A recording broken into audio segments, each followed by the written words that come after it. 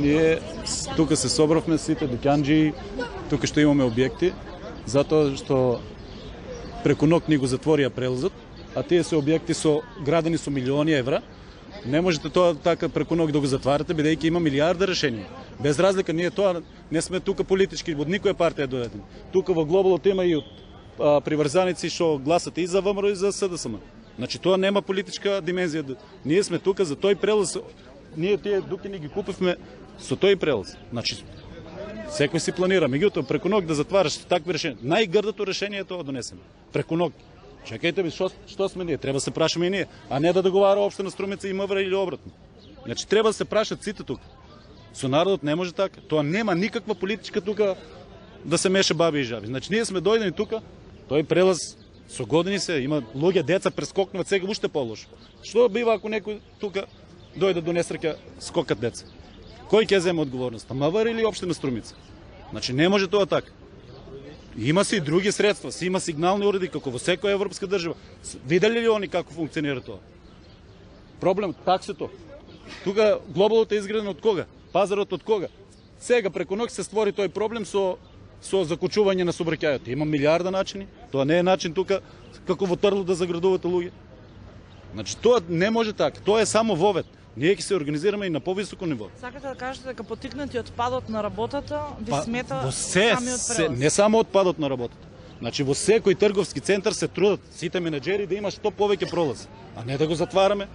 А, а има милиарда начини како да се реши тоа. Значи со семафори, со сигнални уреди, а не како првобитно општество тука стави од 100 евра бедна ограда како во Трло. Што, на што личи тоа? Значи, не може тоа така. Тоа е само вовет, а ние, еве по втор пат ви кажувам, ќе се организираме на повисоко ниво. Ние не Значи ние не бараме треба ако има две страни ако се договарат ќе ја прашат и третата. Не само кој ќе го плати прометот што им пага на, паѓа на луѓето. Кој ќе го плати тоа? А платиле илјадници евра тука за Дукин. Не може тоа така. Тоа мора да се реши. Ние не го дозволуваме тоа, ќе си бараме и правно.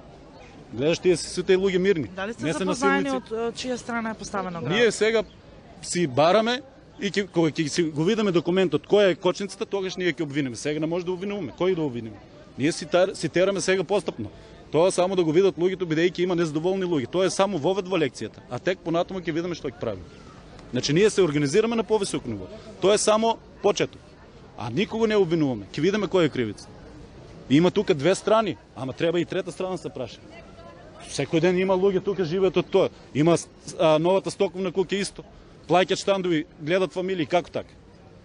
Ние не, ние не сме против а, такси тоа што стои или против зонското СМС. Што треба сега и тие луѓе што седат тука црна зона? Ајде црна зона и кислородот што го душат да го плаќаат. Не може тоа така. Значи, ние не сме нико, против никој, само си го бараме тој пролаз да се функционира, а има милиарда решенија да се реши тоа. Не е ограда, как? Во кој век живееме ние? Право, стави огради и крај решението е... Значи, не може тоа така. Тоа, тоа така не може да функционира.